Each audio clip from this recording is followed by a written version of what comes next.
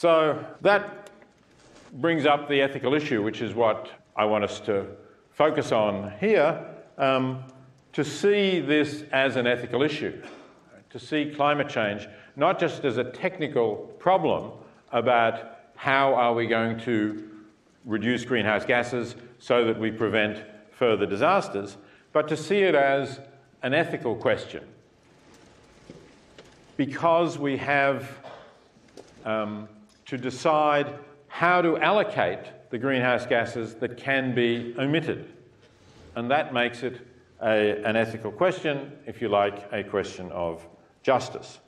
So there are possible principles that we could use for this allocation. What we're doing is we are effectively dividing up the atmosphere, okay? So we start with the idea that the atmosphere is a common resource.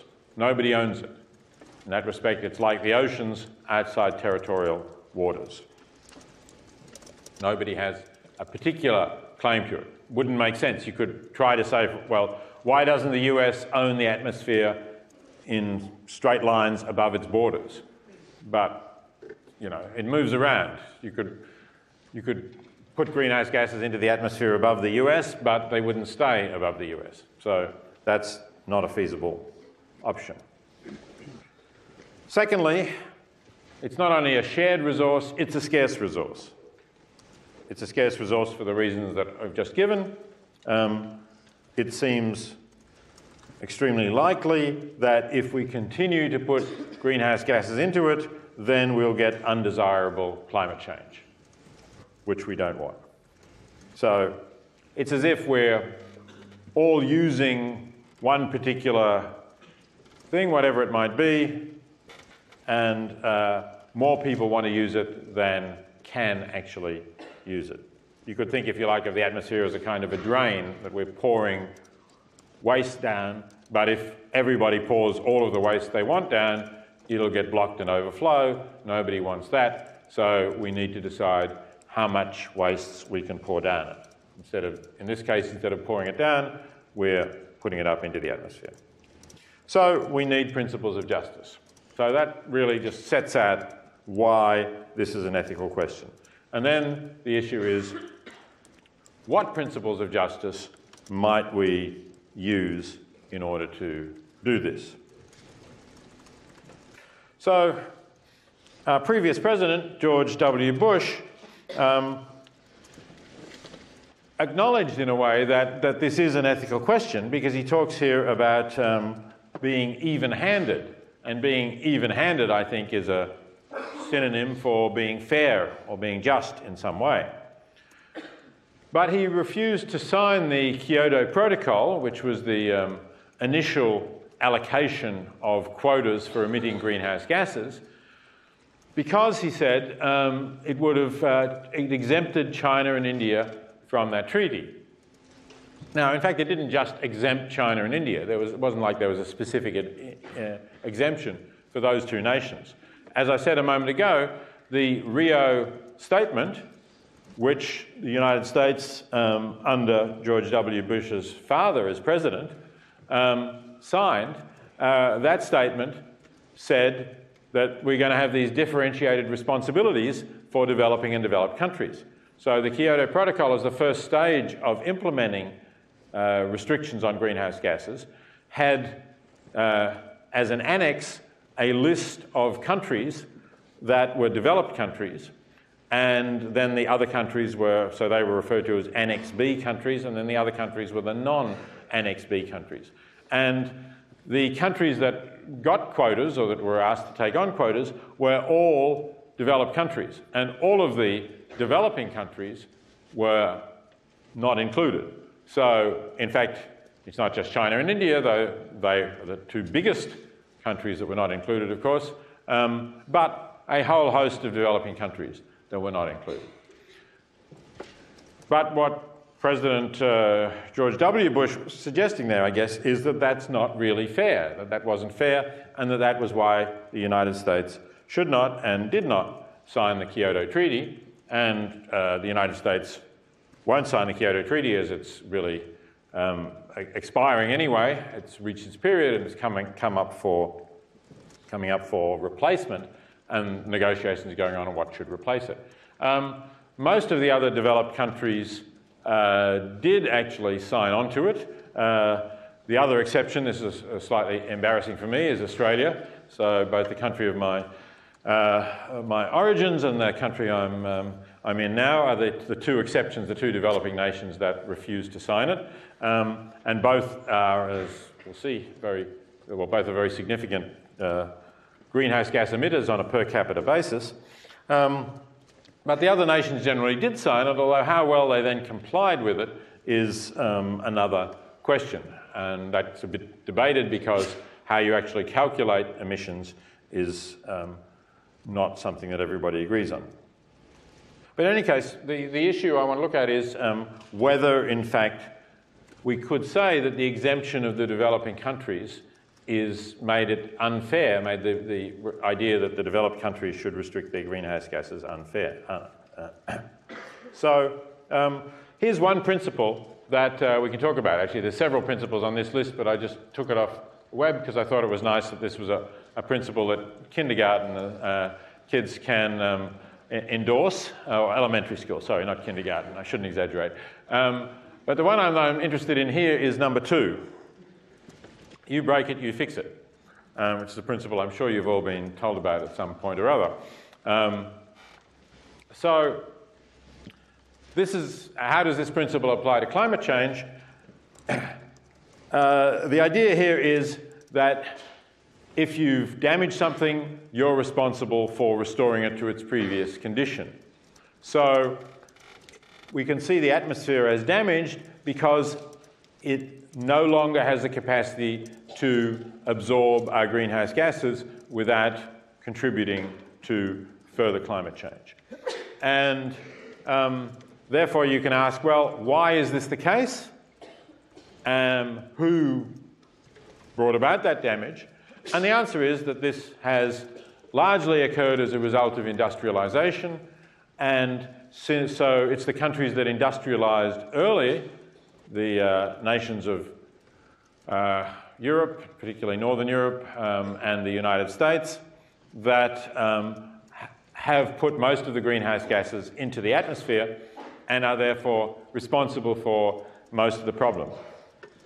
Now, as I said, there's some arguments about how you calculate greenhouse gas emissions, and if you take into account land use and the clearance of forests, you do get a somewhat different picture because uh, some countries have cleared their forests a long, long time ago. Other countries have cleared them more recently. And if you're looking at what's happened more recently, then um, you would take into account of forest clearances more recently. So, in particular, for example, South America um, would be responsible for more greenhouse gas emissions if you count forest clearance than if you only count the use of uh, things like fossil fuels or uh, other gas emissions.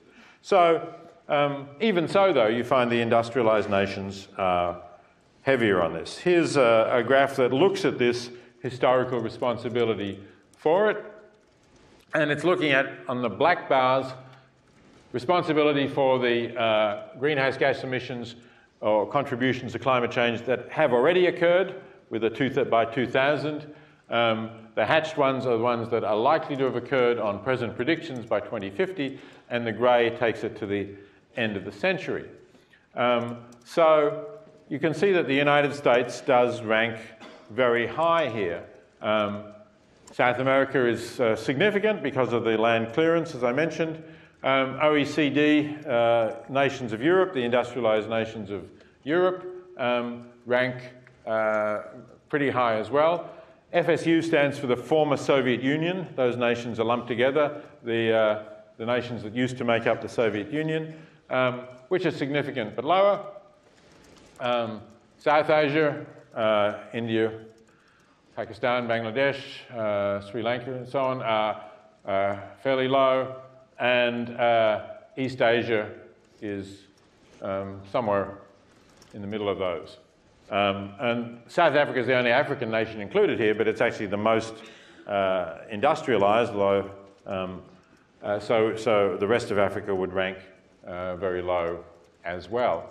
So on this scale, on this scale, if you're going to use this you broke it, you fix it principle, it looks like um, you couldn't say that it would be unfair for the United States to reduce its greenhouse gas, gases when uh, India, included in the South Asia bloc, and China, included in this East Asia bloc, are not because uh, the United States' contribution to historical responsibility is significantly more than that of either India or China.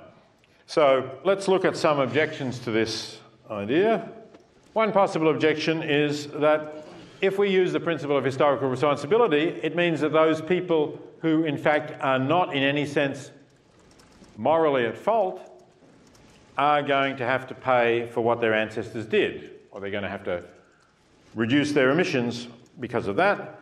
Um, so, for example, anybody, including uh, any of you, I guess, were, were, were born after most of those emissions that the United States is responsible for um, has caused. Why should you be responsible? Or what if you're a recent immigrant from another country, maybe one of the countries like Africa with very low emissions?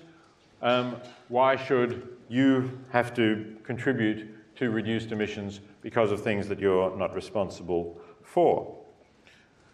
So here's a possible response, just as if you know you countries regard themselves as responsible for debts incurred by previous governments, even if um, that happened before you were born or before you emigrated uh, to the country. Um, you're still responsible for that. So you could see what we have done to the atmosphere, what this nation has done to the atmosphere, as uh, something like a debt that's been incurred that you take on because of uh, what's happened, perhaps also because of benefits that you obtain from it. Because by industrializing, we were able to establish a more prosperous society um, and to live at a higher standard, which continues. And so, in some sense, you could say we're also benefiting from those previous emissions. Okay, a second objection to this claim is that for most of this period of industrialization, people didn't know about climate change. So, how could they be responsible for something that um, they were ignorant of, and not only ignorant of in the sense that they didn't bother to find out, but the information really was just not there? And that is true, although in fact the suggestion that the release of greenhouse gases, or carbon dioxide in particular, was going to warm the planet does go back to a Swedish scientist, Svante Arrhenius, in the 19th century.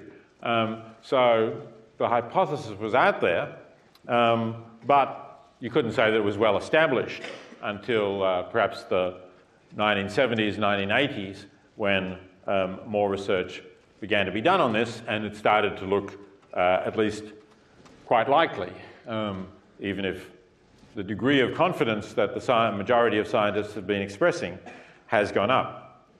And by the way, Arrhenius, being a Swede, although he noticed that uh, release of increase in carbon dioxide could warm the planet, didn't think that that was going to be a bad thing at all. So it does depend a bit on your perspective. So um, is it right, though, to hold people responsible for um, things that they could not reasonably foresee? Um, often it would not be right, but um, what you could do is say, um, go back to 1992, go back to that Rio summit, where by that time people did know, or at least believe, that it was, would be quite dangerous to continue to release greenhouse gases.